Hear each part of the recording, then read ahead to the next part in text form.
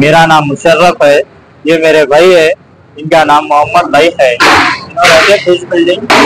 इनका आज साढ़े ग्यारह, बारह बजे के टाइम पे मर्डर हो चुका है। और इनके साथ जो थे मार्केटिंग में, बाहर में बैठ के लोग पाँच, छह जने पिए। उसके बाद to pillar number two fifty eight करने आके थोड़ा जो भी हल्का होने का हो रहे थे। बैजम बजी में क्या करे, तीन से चार लोग हमला कर दिए। पाँच, छह जने मिलके इनके ऊपर हमला करने से एक इंसान उसमें फंस गया। और इनको जान से मार दिए। नाम क्या था? मोहम्मद लईफ था। मेरे को एक फ़ोन आया था।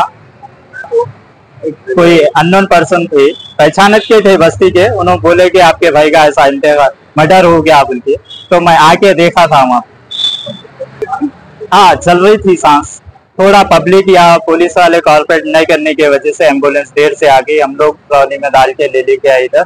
अभी मालूम हुआ कि इधर हो गया मैं हुकूमत से इंसाफ चाह रहा हूँ और पुलिस कमिश्नर साहब से हैदराबाद साइबराबाद हमारे अतापुर राजेंद्र नगर जितने भी एस आई सर्कल्स एसीपी जितने भी बड़े बड़े ऑफिसर्स हैं, उनसे हम इंसाफ चाह रहे हैं। ये अब हो चुका हो चुका, आइंदा से ये नहीं होना, क्योंकि उनको तीन बच्चे, चालीस साल।